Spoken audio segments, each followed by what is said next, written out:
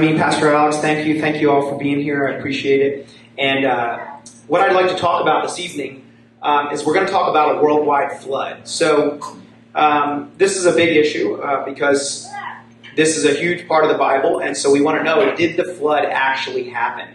And uh, do we have evidence that the flood actually happened? So, why don't we pray and then we'll hop right into it.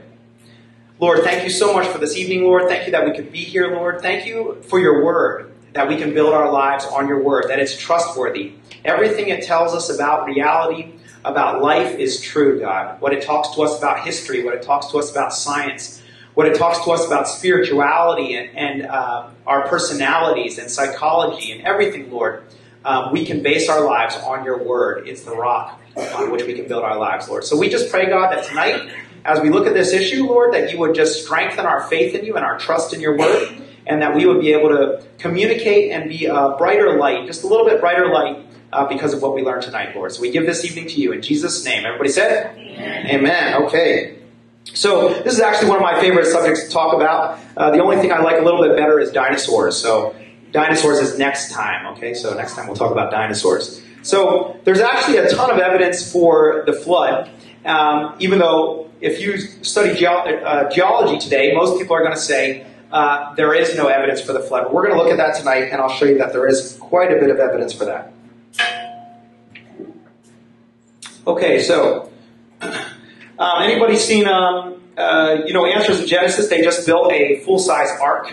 Um, it's as big as the dimensions that are recorded in the Bible. It's in Kentucky. Anybody heard about this? The ark that they built? Yeah, pretty phenomenal. Um, it's finished now. Ken Ham was building it. Uh, I believe it's the largest wooden structure in the entire world. And they've got all kinds of exhibits all throughout it, uh, demonstrating what kind of animals would have been on the ark. Uh, a lot of the animals on the ark wouldn't have been animals we're familiar with today. And we will talk about dinosaurs. If you if you take the Bible for what it says, there actually would have been dinosaurs on the ark. And uh, there's actually a, a lot of evidence that dinosaurs went extinct recently, not millions of years ago.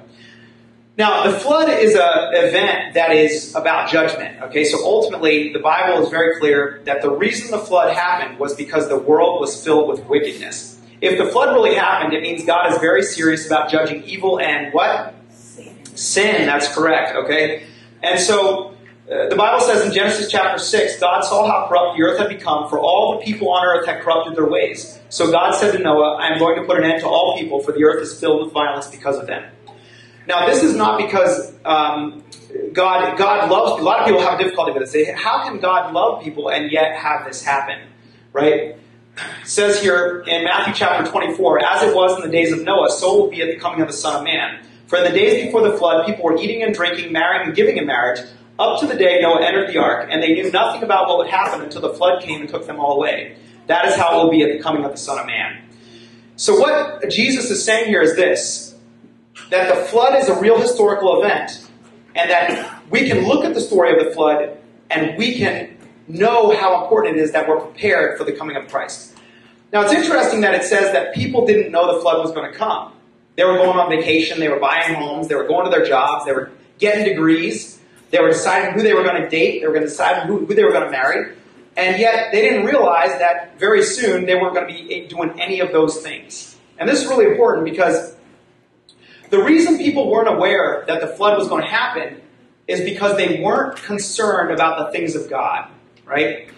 If you're concerned about the things of God, then you will be prepared for what's coming. So, for example, Jesus says, He says that there are going to be signs that we're going to be able to see when the end is near.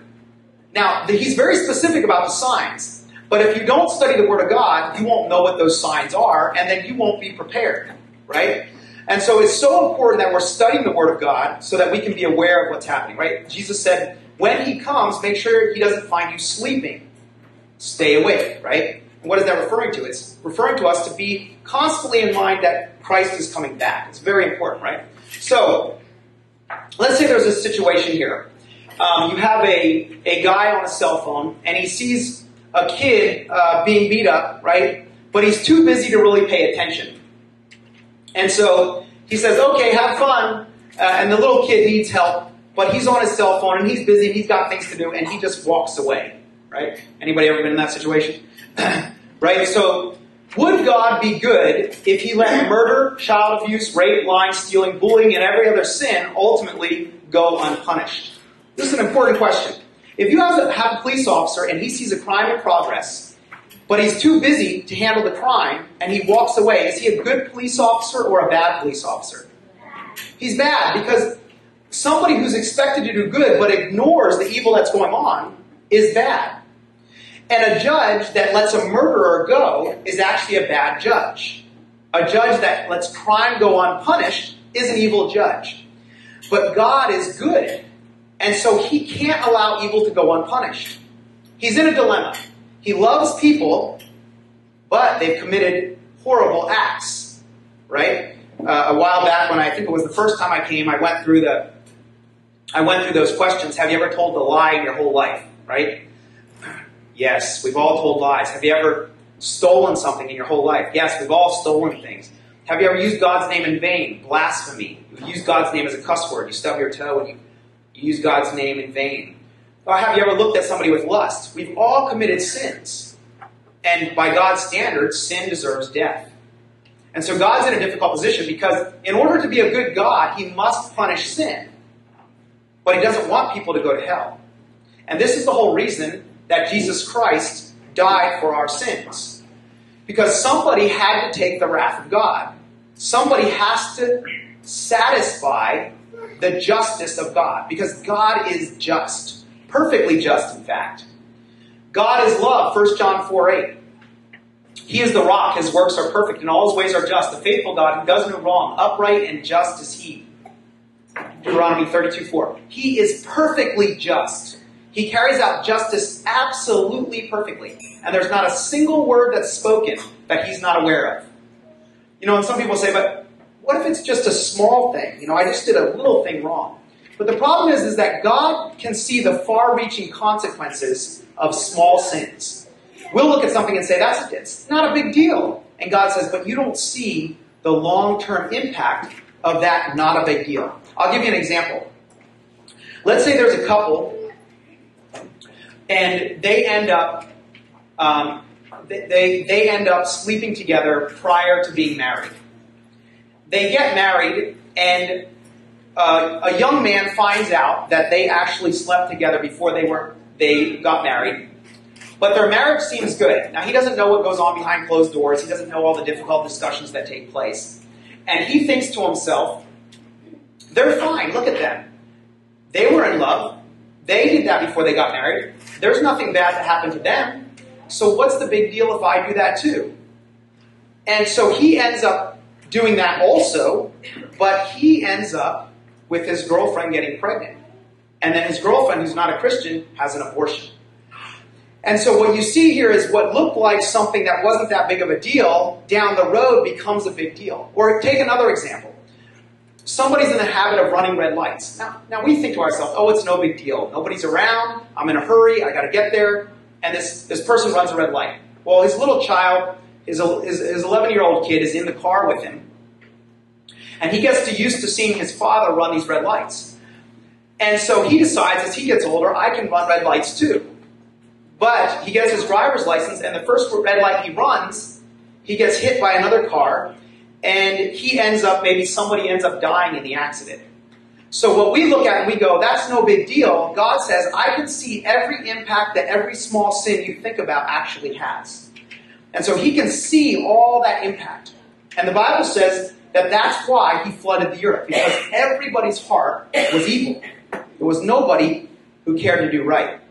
I take no pleasure in the death of the wicked, but rather that they turn from their ways and live. Turn. Turn from your evil ways. Why will you die, people of Israel? You know, God is very clear. I don't want people to die. I want people to live. But people continue to go their own way, and ultimately, I have to be just and good. And I have to bring judgment in order to be a good God. If I stop bringing judgment, then I cease to be good. Okay, and so this is why Christ is so necessary. This is why he had to die. That's why when he said, Father, if there's any other way, let this cup pass from me. And his father essentially said, There is no other way. In order to save these people, justice must be served. Okay, and so that was no small sacrifice. Now, I'm not going to read all of the flood story, but if you want to read it, it's in uh, Genesis chapter 6, goes all the way through Genesis chapter 9. It's an amazing story, and there's so many details in there that we tend to just skim over, but it's a very, very interesting story. And it says there, I'm going to put an end to all people, for the earth is filled with violence because of them. And then it describes the ark perfectly. It tells how big it will. It tells who's going to be on the ark. It tells what animals are going to be on the ark. It's very, very detailed. Um, and then um, this is probably what the inside of the ark looked like, uh, very likely. Uh, it was very big. It was probably about uh, almost two football fields long. Very, very big boat. Now, um, most people will say, well, how could he fit all the animals on there? Uh, that's crazy, right? Well, if we do the dinosaur one next time, I'll go into details about how you would fit dinosaurs on there and how you have all those animals able to fit on there. But right now, what I'm going to focus on is the evidence for an actual flood. Was there actually a worldwide flood? Okay, so he goes through there, he talks about all the animals that are going to be on there. He talks about how long it's going to flood for, right? 40 days and 40 nights.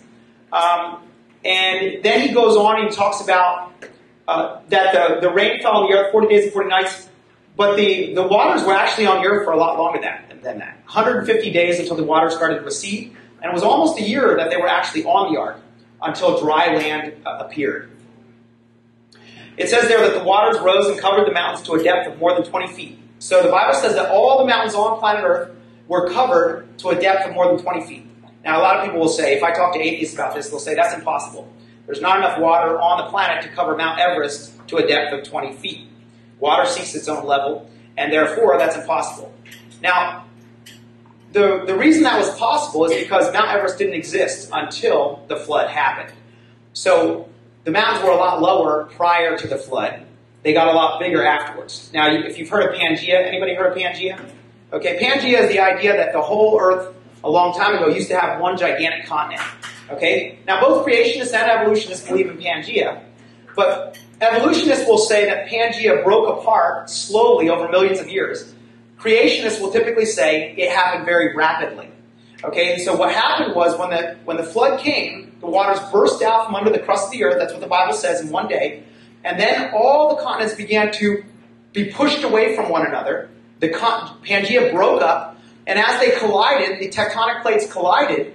That's what created the mountains. And as the mountains rose up, the waters came off the continents, flowed off the continents into the ocean basins that were now created. So you didn't have as big oceans prior to the flood, and now you have huge oceans and that's why we have so much water on the crust of the earth today. Is because of the fact that the flood, the waters came out from under the crust of the earth, they came on top of the earth, they flowed all off the continents into the oceans, and now we have 80% of the earth covered in water. Now, again, we'll look at the science of this and see if this is uh, legitimate, okay? So there it is. The animals all get off the ark. They spread out, and they begin reproducing, and uh, that's what happens. So, in Japan in 2011, there was a tsunami. 125,000 buildings were destroyed, 11,000 deaths, 16,000 missing persons. Horrible, horrible tragedy.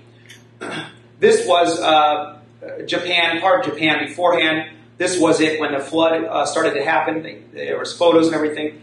But floods are uh, devastating, aren't they? They're horribly devastating. The damage that was done, and this was just a local flood in Japan. Can you imagine the damage that a worldwide flood would do?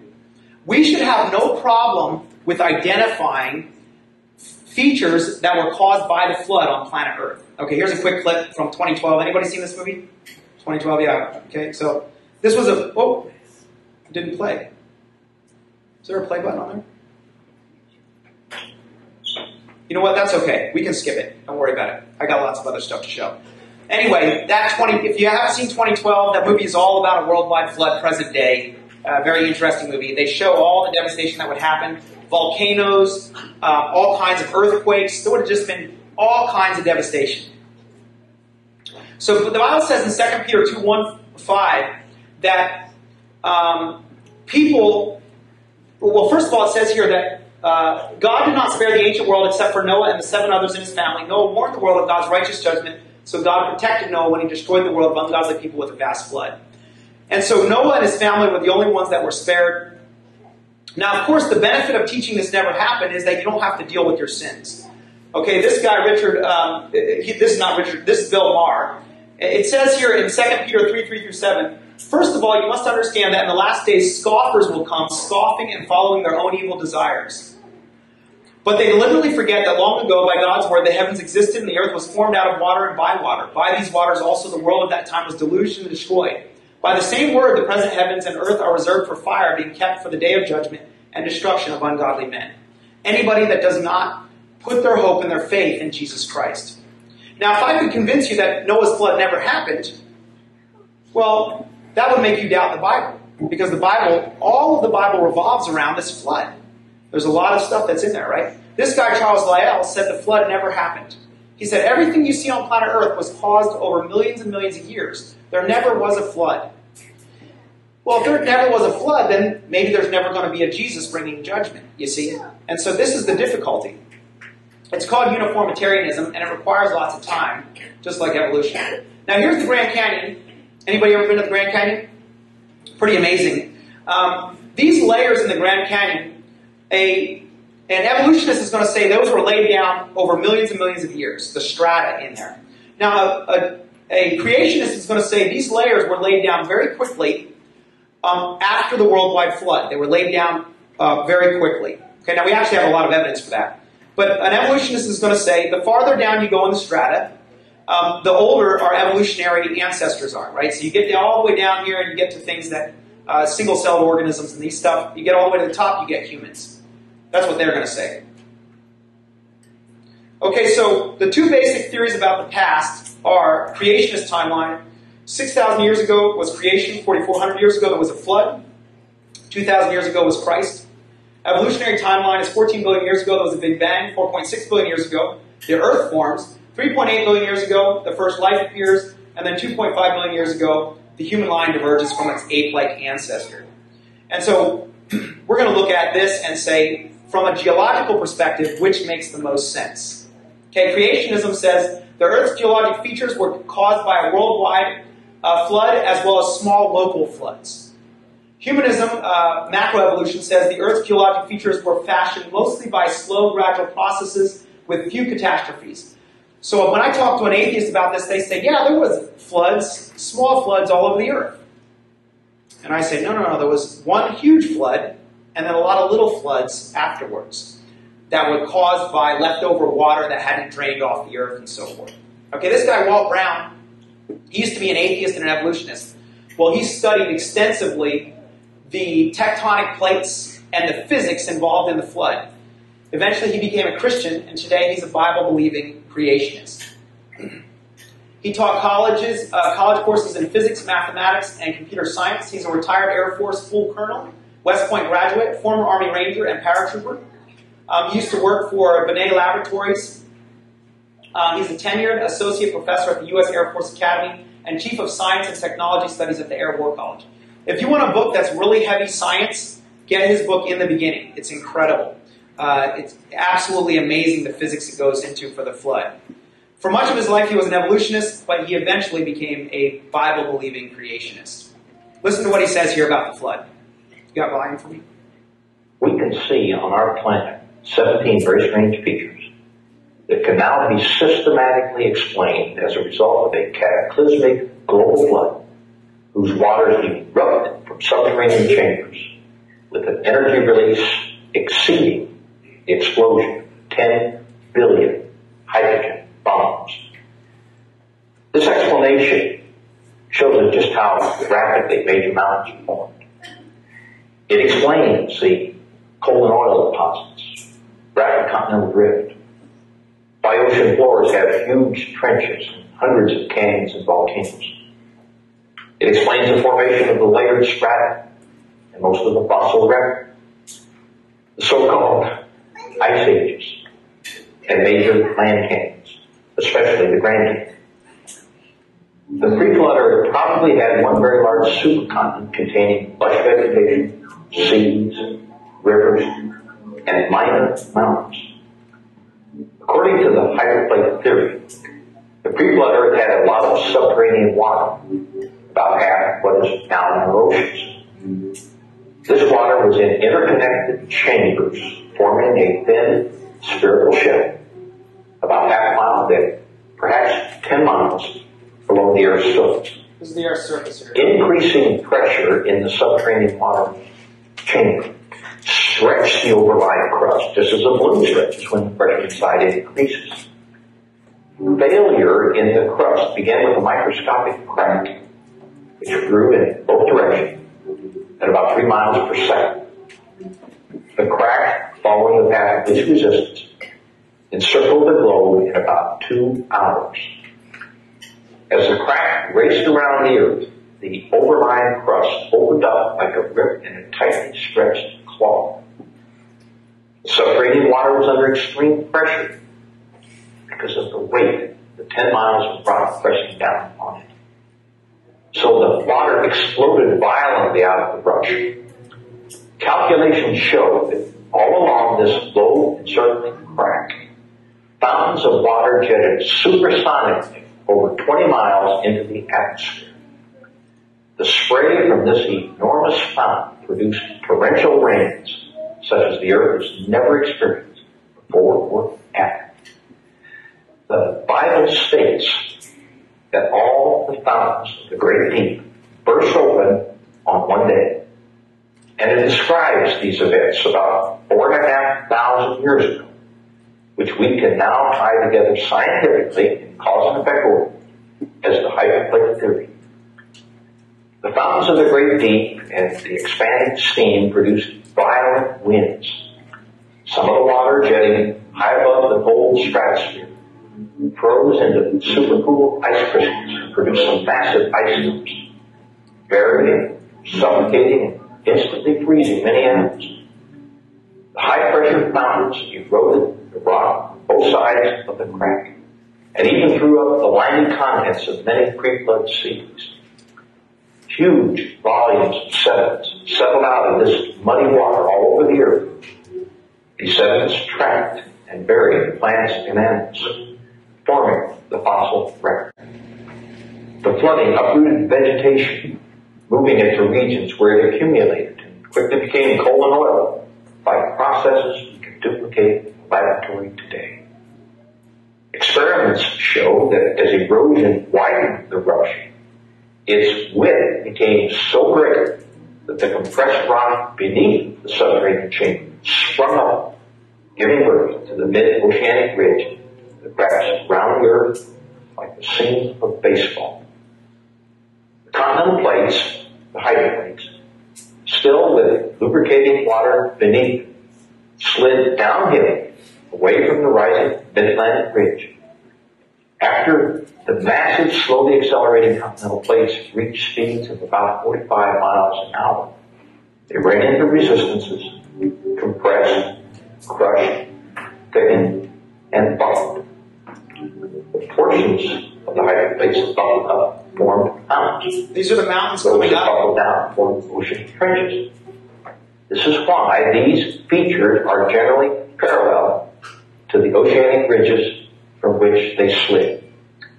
Okay, so he there's a lot more to that too. He explains all that happens. What's interesting is that if you look here, um, the Bible says in Psalm 24, 1 through 2, the earth is the Lord's and everything in it, the world and all who live in it. He founded it on the seas and established it on the waters. It says he established the earth on the seas, not the seas on the earth. Right? The earth is on the seas. That looks backwards, except that it's not. And that's not the only place where the Bible says that. What they're now finding, they're finding something called ringwoodite, and ringwoodite is basically diamonds with water in it. What they're discovering now is there is still more water under the crust of the earth than there actually is water on top of the earth. Even today, there's more water under the crust of the earth than water on top of the crust of the earth.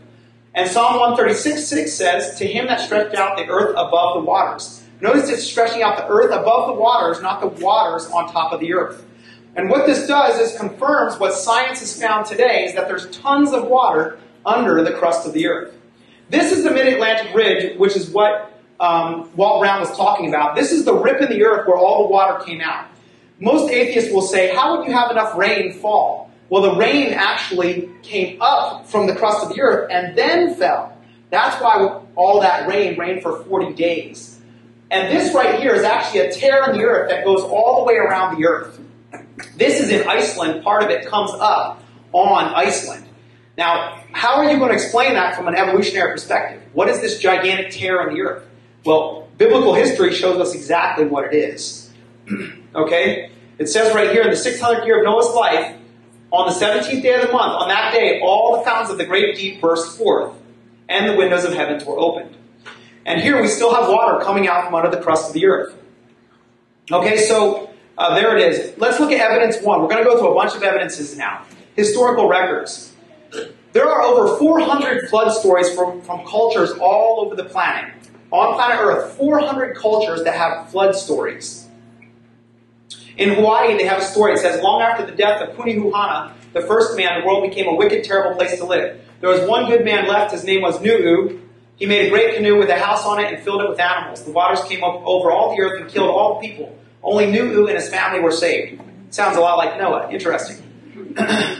There's a Hulapai, uh, I don't know if I'm saying that right, Hulape, Hulape, whatever, uh, story also. It says, It rained for 45 days and the whole earth was flooded. All the people were destroyed except for one old man atop Spirit Mountain. Many days passed and a dove brought him instructions from the Creator to drive a ram's horn into the earth. The old man obeyed and the waters were drained. He sent the dove forth and when it returned with fresh grass in its beak, he rejoiced for the land had become dry. Now, I think he got it a little off with the ram's horn in the earth there, but he's got the dove and he's got all these other things. That's pretty amazing. Here's another one. An ancient Chinese classic called The Hihking tells the story of Fu Hai, whom the Chinese consider to be the father of their civilization. This history records that Fu Hai, his wife, three sons, and three daughters escaped. Wait, wait, how many people is that? That's eight. That's exactly what the Bible says. He and his family were the only people alive on earth. After the great flood, they repopulated the world. Uh, the Toltec legend is very interesting. It says the first world lasted 1,716 years and was destroyed by a great flood that covered the highest mountains. Only one family named Cox Cox survived. What's really interesting about that one is that they're only 60 years off from the same amount of time that the Bible says happened before when Adam was created to when the flood happened. Only 60 years different from what the Bible says. Here's another one, the Gilgamesh epic. Anybody heard of Gilgamesh? Uh, the kids have to study this in school all the time. Tablet 11, it's very similar to the flood story in Genesis uh, 6 through 9. It says, this was found in Nineveh, by the way, in Assyria.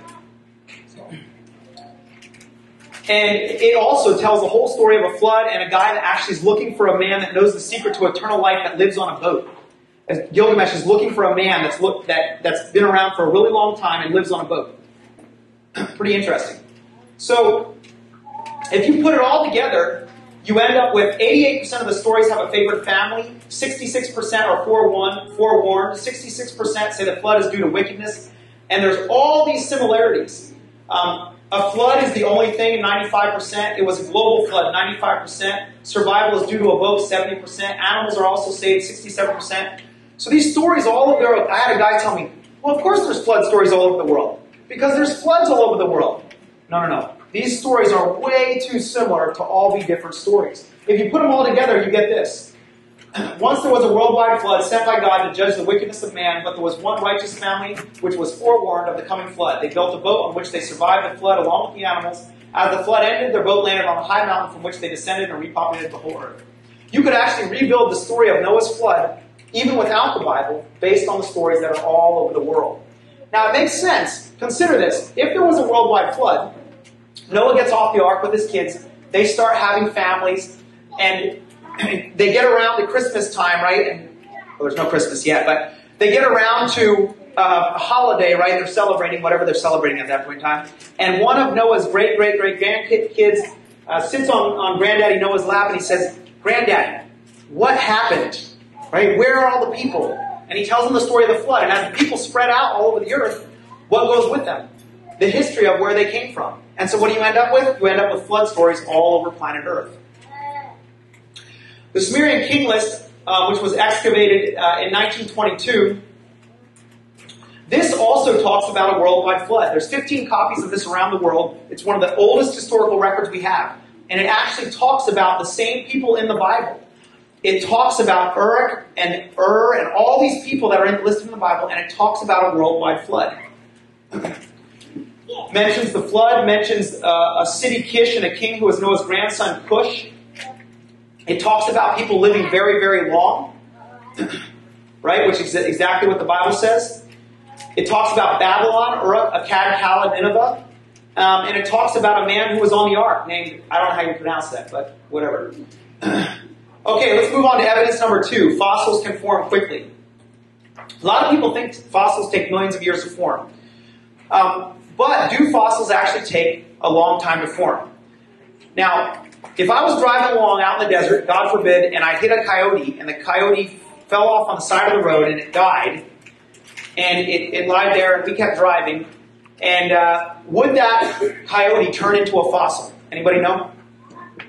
Would the coyote that died on the side of the road, would it turn into a fossil? Okay, the answer is no, it wouldn't. Okay? what if I buried it? My kids were like, Dad, give the coyote a burial. Right? And I got out and I was like, okay, and I buried it. Would it turn into a fossil? No, it wouldn't. Okay, so, did I trick you there? I tricked you, huh? So, no, it wouldn't turn into a fossil because to create a fossil you have to have very special conditions. And that's not good enough. Okay? Um, watch this quick clip um, this is not a Christian who made this, but he does a good job of explaining how fossils form. Today's lesson is on fossilization. I'm your teacher, Dr. Dino. Fossils are the of animals, like dinosaurs, that lived long ago and have been preserved in stone. Let's take a look at how fossilization works. First, the dinosaur would have to die. Ah, that's horrible. Aha, that's better. There's something now with the guy be The best places for that to occur would be near swamps or rivers. So that sediment, particles of sand or mud, could quickly cover the body. When covered up, the remains are protected from scavengers and decay. Over time, the layers of sediment accumulate Mineral-rich groundwater enters spaces of certain parts of the animal's remains, such as the bones, shells, or plates. When the minerals are That's wrong right behind, the That's wrong. remains Wrong. are slowly replaced by inorganic Wrong. That's wrong. Over time, the fossils may become exposed as sediment is worn away. And that's when paleontologists Okay, so to form a fossil, you need what? What was the missing ingredient for the coyote? Anybody get it? Shout it out. Water. Very good. Very good. You get a star. Okay, so you have to have rapid burial to protect the specimen from scavengers. If the coyote died, immediately scavengers would come and just tear that coyote apart. Um, but on the other hand, even if I buried it and I had no water, um, there would be nothing to replace the organic material with minerals. Basically, the way fossils are formed is if you have a bone in the ground and water is running through the, the earth, the bone acts as a mold or a cast. And minerals replace the bone, and you're left with a rock formation of the bone. Does that make sense what I just said? Okay, that's how fossils are formed. So you need quick burial, and you need a lot of water and mud. Well, the flood is just perfect for quick burial and lots of water and mud. So, this is what happens to something that doesn't get buried quickly. Scavengers very quickly eat things, okay? This is a lizard, but not for very long. He's a dead lizard, by the way. These are ants. This is a time lapse video.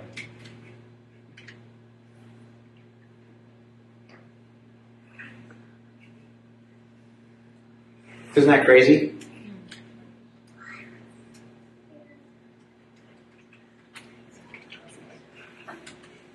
Okay, the date is 1 7 2008.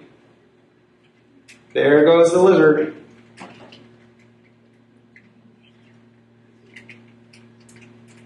Okay, now it's 1 8 2008. Do you think they're going to be able to take it all away? How are they going to carry that head? This is kind of a gross, gross lesson, isn't it? But I teach high school students, so you have to understand. Look, and they're struggling here. They're like, what do we do with this? How do we move it, right? Oh my goodness. You didn't know ants were that strong. Now they're kind of just playing. They're just like kind of juggling around here, playing tug of war. Oh, there it goes. That's just one eight. That's 1 8 2008. That was one day. One day. You see, if, if dead things aren't buried very quickly, scavengers will destroy them very, very rapidly. You know, we never find any whale bones because there's so many scavengers in the ocean. If a whale dies, it's gone very quickly. Did you know we used to have 300 million buffalo in America, but we have no buffalo fossils? We had as many buffalo in America as we do have people today, and yet we have no buffalo fossils. Why? Because they weren't buried. It wasn't the right conditions to create fossils. So you need very specific conditions to create a fossil. But fossils can form very quickly. This is a petrified cowboy leg. Now I don't know how his leg got petrified. I was thinking maybe he was running along, he lost his horse and he's running away from a mountain lion. His leg went inside a, a dry creek bed, but it was like really muddy or just a little bit of water. His leg got stuck, then the mountain lion ate him, and then his leg got stuck down there and he couldn't get it out, and the water kept flowing through and it, it did that. Now, now think here, was this millions of years ago? No, because they didn't have cowboy boots millions of years ago. So clearly not. Okay? So this is a, what's called an ichthyosaur, and what's unusual about it is it's giving birth. Look at that. Now, birth happens relatively quickly. So this had to have been buried very quickly in order for it to get, get fossilized. Okay, this is a petrified hat. Are you kidding me? You can, did you know you can fossilize? If you have a hat you really like, you can fossilize it and keep it. Look at that. Awesome. Isn't that awesome? Now, uh, this didn't happen millions of years ago. That happened quickly. This is a petrified pickle. Right? If you really like pickles and you want to save it for a long time, just petrify it. This is a petrified bag of flour. Right? These are hundreds, there are hundreds of dinosaur uh, eggs that are fossilized in China. And eggs are very fragile. Well, how do you fossilize an egg? It has to be buried very rapidly.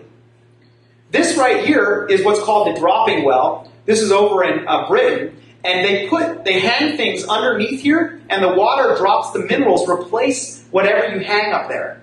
So people have hung all kinds of stuff: ice skates, underwear. That's weird. Uh, teddy bears. Lots of people petrify teddy bears. I don't know why, but they do.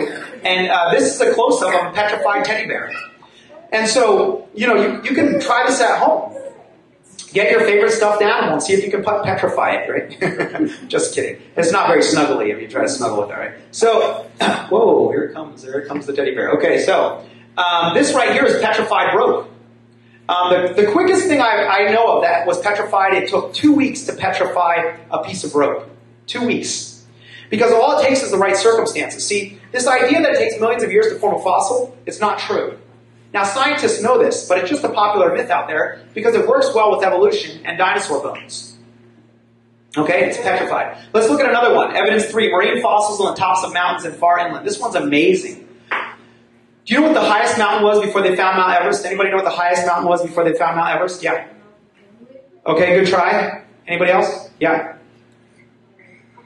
Mount Everest. Good job. That's right. It was Mount Everest. The highest mountain before they found Mount Everest was still Mount Everest. Okay, so how did you know that, man? That was really good. That was really good. You get some A plus. Okay, how high is Mount Everest? Mount Everest is twenty nine thousand feet or five and a half miles. I would hate to be one of these guys, like right now. Like that would be awful, right? I want to go home and go to sleep. If you're stuck on the side of a mountain, you can't go home and go to sleep. It's like, what do you do, right? Um, what kind of fossils they found on top of Mount Everest? Here's what's amazing. They actually find ocean animal fossils on the top of Mount Everest.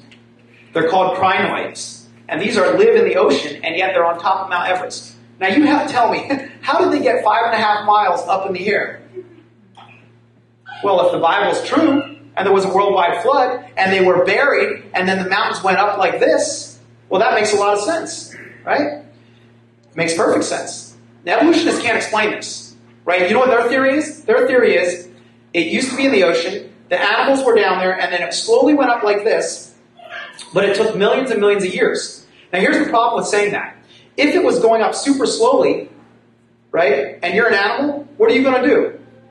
You're going to move down the mountain with, you're going to stay in the water. The only way you're going to stay up on the mountain is if you die before the mountain goes up, and it goes up very rapidly. That makes sense. Okay? Now, how far is Mount Everest from the ocean? Mount Everest is 450 miles from the ocean. How do ocean fossils get five and a half miles up in the air, 450 miles from the ocean? Well, I think there was a worldwide flood. You know, uh, anybody here like clams? To eat clams or oysters or anything? Yeah? This little guy right here. You know, clams, live clams are closed. Why are live clams closed? Anybody know? Anyone want to take a guess? Why is a live clam closed? Yeah. Okay, I like that answer, so they don't get killed. Very good. That's wise. Okay. Um, they're when they're alive, they can contract their muscles and they can hold their shells closed. But when they die, they open up because they can no longer hold their muscles closed. Right. Well, what's interesting is all over the world, we have closed fossilized clams. Now, what does that mean? I mean, everywhere around the world, there are, you can go right out to Anza Borrego, and there are hundreds of fossilized clams that are all closed. But I thought they, when they died, they opened up. What had to happen?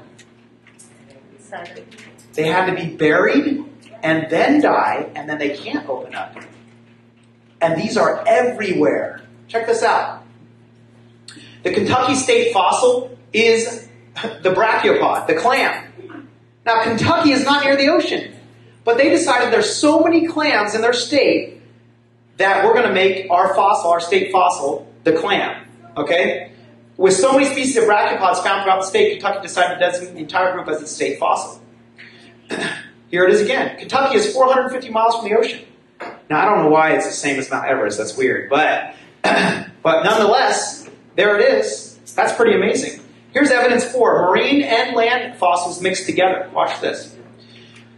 In France, which is three, this location is 300 miles from the ocean, they have found marine creatures buried with spiders, scorpions, millipedes, insects, and reptiles, all buried together. Land animals and sea animals, 300 miles inland, all buried together. Now that's strange, isn't it? But that's not the only place. More than 100,000 fossil specimens representing 400 species have been found in Chicago, Illinois. And they're all preserved. Now that's where that is, right there. Here's another one, Florissant, Colorado. A wide variety of insects, freshwater mollusks, fish, birds, and several hundred plant species are buried together. Bees and birds have to be buried rapidly in order to be preserved. Alligator, fish, deep sea bass, chubs, pickerel, herring, garpike, birds, turtles, mammals, mollusks, crustaceans, many varieties of insects, and palm leaves are buried together in the vast Green River Formation of Wyoming. This is 1,000 miles from the ocean, and yet you have all these land animals and sea animals buried together. Absolutely incredible. Okay? This is 300 whales, porpoises, turtles, seals, fish, and land animals such as ground sloths and penguins were buried together in Peru, South America, 36 miles from the ocean. Now, I don't know how penguins got in the mix there. That's just weird. But there it is land animals and sea animals buried together in South America. And they've dug them up. This is a gigantic whale fossil. Here's another one. Over 60 whale fossils were found 80 miles from the ocean in the desert of Chile in 2010 when construction crews were expanding the Pan American Highway. Also buried with the whales were dolphins and sloths. Now, I don't know why sloths keep showing up too. That's weird. Sloths are really slow. Maybe they just couldn't, you know, they couldn't run away as fast, and so they just got buried with the fish. I don't know. But anyway, here it is again. Tons and tons of whale fossils. In fact, they've named it Whale Hill because there's so many whale fossils. How does that happen? How are you going to explain that? That's crazy, right? Have any of you heard this before? No, this is crazy, isn't it? But this is real evidence for the worldwide flood. there it is again. Here's another one geological features that look like they were caused by a flood. Now, here's what's amazing. Even people who don't believe in the Bible are starting to recognize that all over the world there are geological features that can only be explained by a flood. Now, I got this video from Nova. Now, Nova is not a Christian organization. They are very atheistic. And yet, they did a whole movie on how floods, gigantic floods, are creating the geological features on the earth. Watch this quick clip.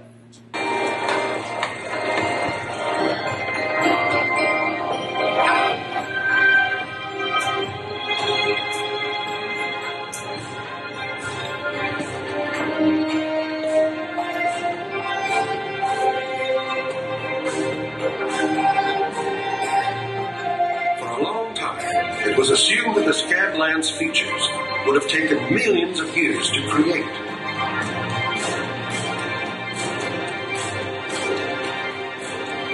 The rivers and lakes in the Scablands today could not have sculpted this landscape.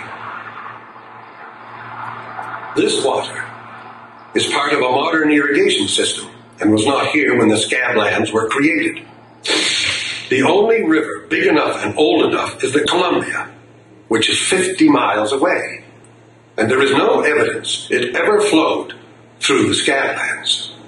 But there's another reason to rule rivers out.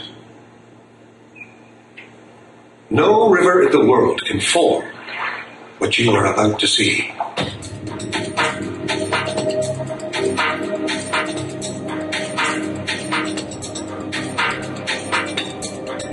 You will not find these anywhere else on Earth. These enormous potholes are one of the strangest geological features of the planet.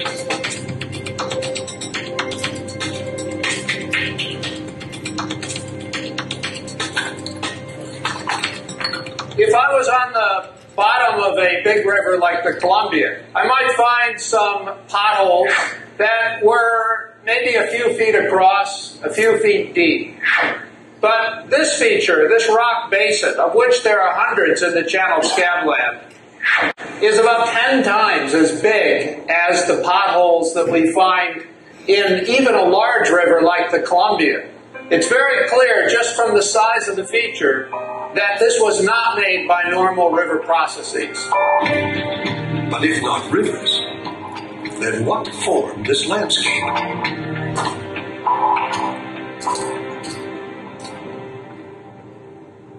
Boulders like this one pointed toward another possible culprit. How could this 100 ton giant have been dumped on the edge of this thousand foot precipice? It's made of granite, and granite is not native to the Scablands. But granite boulders of many different sizes are scattered erratically throughout the area. Indeed, they are known as erratics.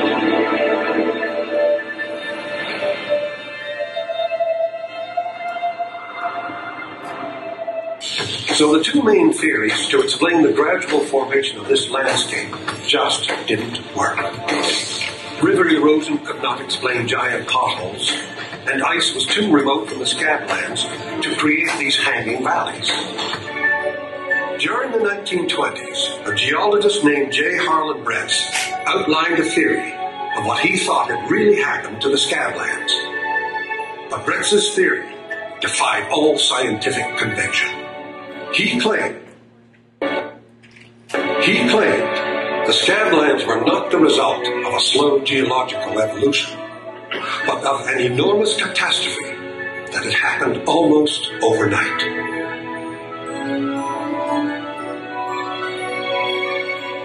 For years, Bretz traveled the Scablands examining the landscape.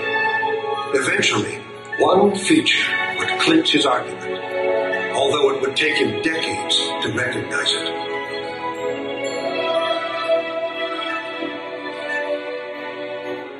From ground level, these shapes don't make much sense. Bretz must have walked over thousands of those things, but they're so big in the field, he had no idea what they were. He just uh, he didn't he didn't guess what they were. Bretz would not see aerial photographs of these hills for many years.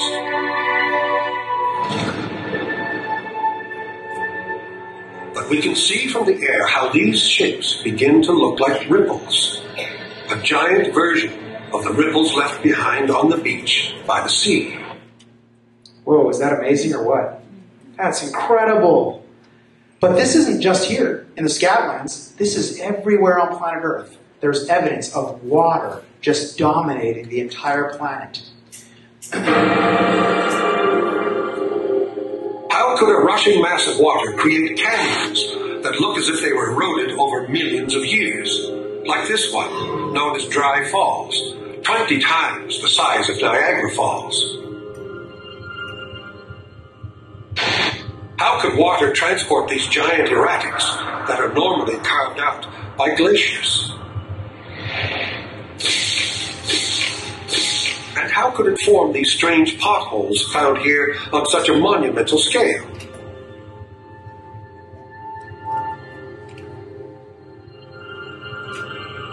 To test whether a single flood coming from Lake Missoula could really have done all this, scientists have built their own mini scablands.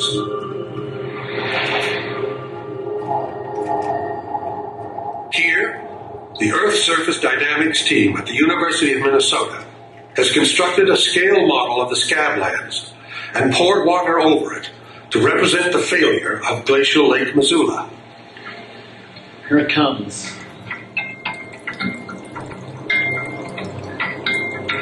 The rushing water doesn't simply disperse over a wide area. It gouges out channels and then erodes them into extraordinary shapes.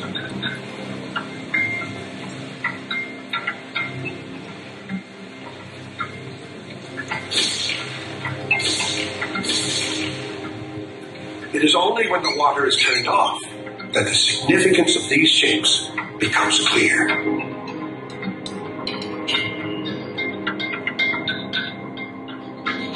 We're seeing the same essential set of processes. In fact, it's one of the remarkable things about these natural systems is that the same fundamental sets of processes can occur across a very wide range of scales. They're what we call scale independent.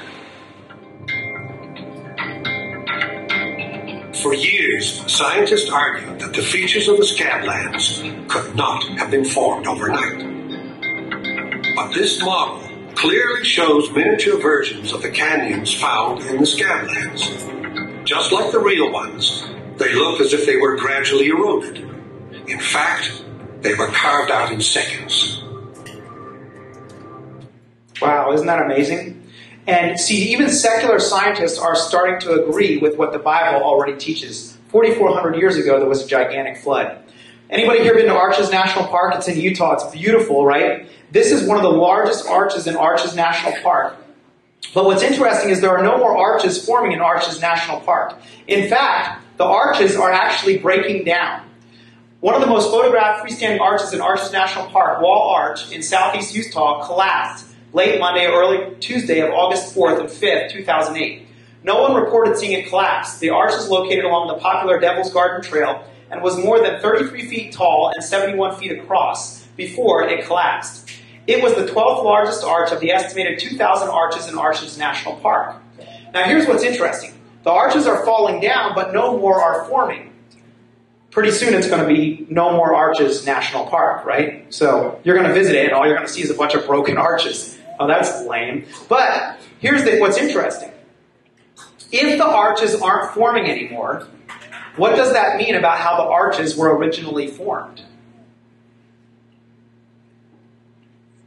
You see, if secular geologists were right and the arches were formed through natural processes that are happening today, we would see more arches forming.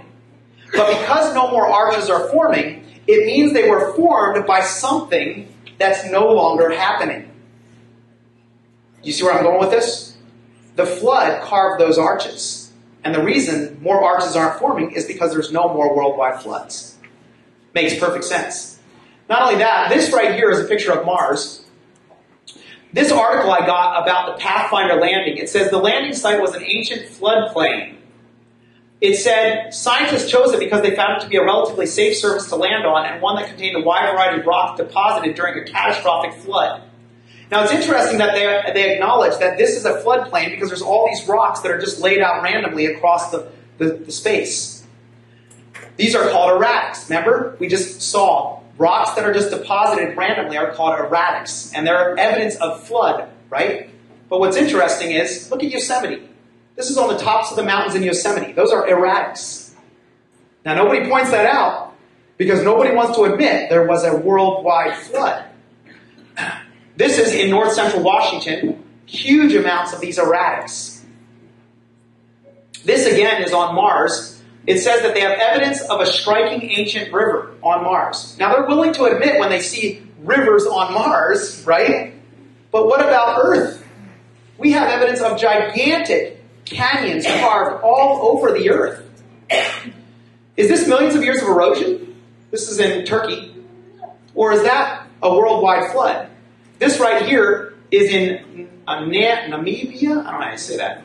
But is that erosion? Is that wind and rain that made that? Or is that water piling rocks up on top of each other? What about this? This is Monument Valley, Utah, on the border of Arizona. Is that just normal erosion, wind and rain? I don't think so. I think that's a worldwide flood. Here's another one Bryce Canyon, Utah. Is that millions of years of erosion? Or is that water rushing off the continent, just ripping through, making gigantic canyons and all these, these formations? Here's another one.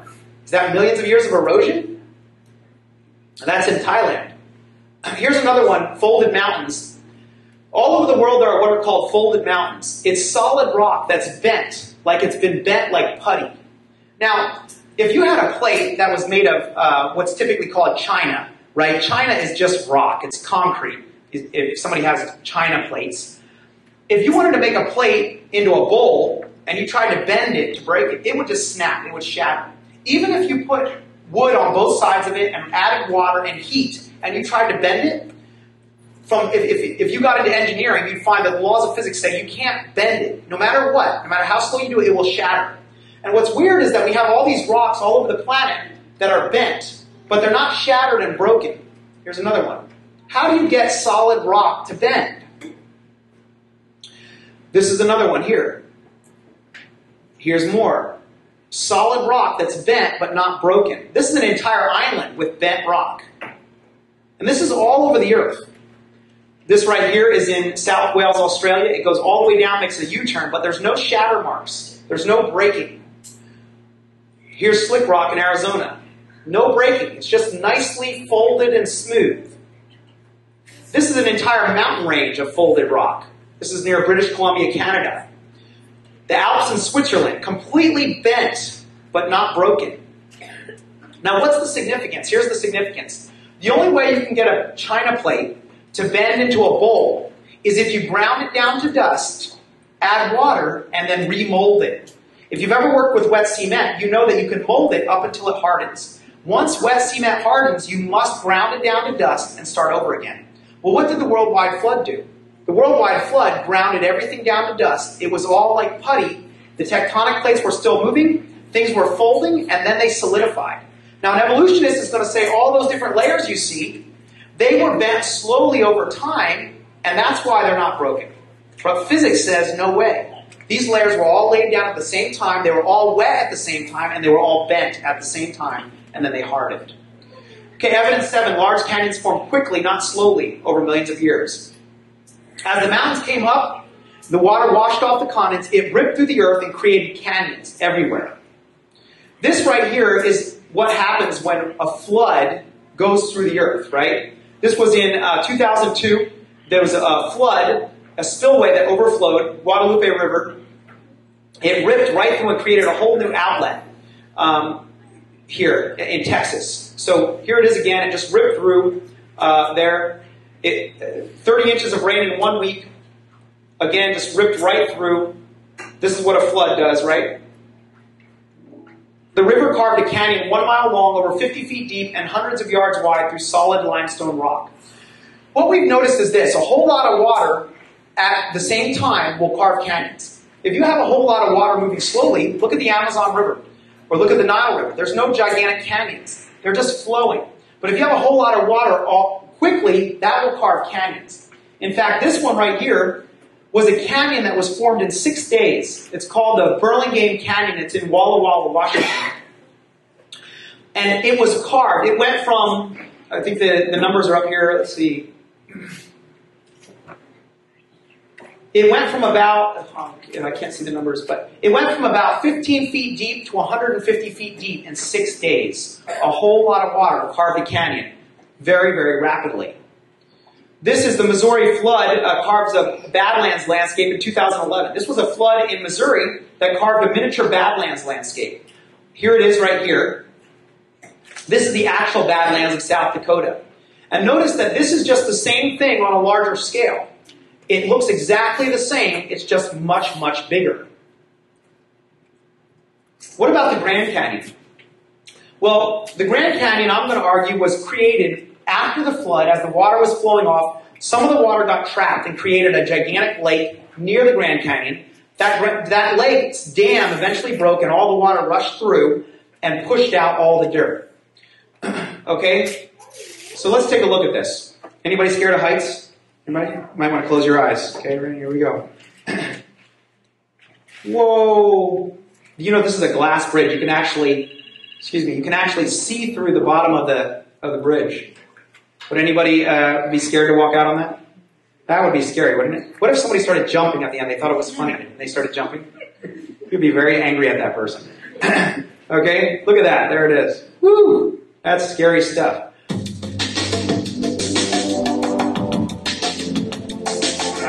Welcome to Creation Minute. I'm Eric Hovind.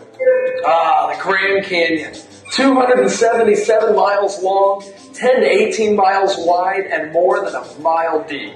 That's impressive. In the bottom is the Colorado River. You know, some scientists suggest the Colorado River formed the Grand Canyon over millions of years. But take a look at these facts to see it from a different perspective. The Colorado River enters the canyon 2,800 feet above sea level. It exits the canyon 1,800 feet above sea level. And the top of Grand Canyon is 7,000 feet above sea level. So you tell me, did the river flow uphill for millions of years to carve out the Grand Canyon? Or is it possible that the Grand Canyon is the result of Noah's flood? To learn more about creation, visit us at creationminute.com. Okay, so this is amazing. This is an aerial photo of the Grand Canyon. Now, this is the Colorado River down here. The Grand Canyon, though, is 18 miles wide, but the Colorado River is only 500 feet wide. How did the Colorado River carve a canyon 18 miles wide when it's only 500 feet wide? Something's wrong. So the Grand Canyon, the length is 277 miles. It's 18 miles wide. Its height is a mile. It enters the canyon at 2,800 feet above sea level. It exits at 1,800, and the peak is 7,000. So what that means is if the river, millions of years ago, started carving the Grand Canyon, the river would have to go uphill before it got down here. That's a problem. Again, this doesn't make any sense uh, from a, a long, but if a whole lot of water came all at once and just pushed everything out all at once, and then the Grand Canyon formed afterward, I mean, the Colorado River formed afterwards, well, that would make a lot of sense. Okay? So, this right here is a lakes that used to be here. Okay? Hopi Lake and Grand Lake. These are lakes, they're dry now. They're not there anymore. The Grand Canyon is over here. This dam broke and the water rushed out and carved the Grand Canyon. In fact, if you go with creation tours, the Creation Ministry in Santee, they will take you out to the desert and show you all the leftover dirt from where the Grand Canyon, the dirt came out and left it right here in Southern California. It's amazing. So, this right here is on the top of, these are potholes on the top of the Grand Canyon. That's created by water rushing and drilling down into the ground. Well, why are they on top of the Grand Canyon? You have to have water on top of the Grand Canyon to get potholes on top of the Grand Canyon. Okay? So, what is this, what does this mean? This is all evidence, and there's tons more too, right? I have notes to add more stuff on this. This is all evidence that the Grand Canyon actually formed, uh, was formed by the flood. And so, if, it, if the flood really happened, God is serious about judging evil and sin, right? And that means when he says, Jesus says, I'm coming back and there's going to be judgment, well, we need to take that seriously. Because this is evidence of the truth of God's Word, the, the history recorded in the Bible. Jesus is our ark, right? He's the boat this time. And He offers that free gift of salvation to anyone. He's willing to pay for our sins, but we have to be willing to get on board. And that's really the issue here. God offers the free gift of salvation to anyone who asks. That's the beauty of it. There's no cost to it. He already paid the cost. All he asks is that you hold out your hand to him and give your life over to him. Make him your boss, right? That's what I tell my students. Make Jesus your boss. Um, he becomes the guy you follow from here on out.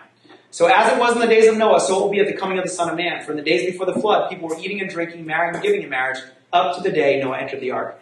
And so our lives really have to be about letting more and more people know about the truth of Jesus Christ. And being, and this is one way that we can effectively communicate to people, hey, this is the real deal. The Bible's a real history book. When it reports about science, it's accurate. Okay, so um, before I close this in prayer, uh, uh, Pastor Alex asked me to ask if anybody had any questions, anything that uh, anybody is curious about, and uh, I'm happy to answer any questions that I can. Or did you want to write, have people write things down or anything? Or? If you invite, we can ask.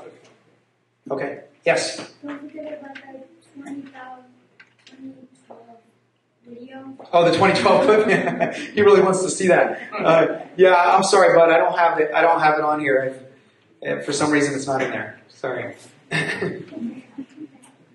Anything else? You can watch that at home with your parents. It's a little scary, though. Okay, well, that means I, I did a good job. So awesome. Okay. Thank you very much, you guys, for having me. I really appreciate it. I'll close with some prayer and then. Lord, uh, thank you so much that your word is true. Uh, and thank you that we don't have to be afraid of the flood. We don't have to be afraid of the judgment because you have given us the gift of eternal life through your Son, Jesus Christ.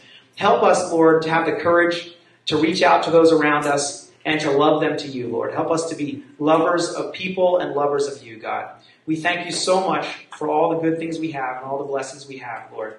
Help us in our weaknesses and uh, strengthen us in our strengths, Lord. We love you. In Jesus' name, amen. Amen. Thank you again for having me, you guys.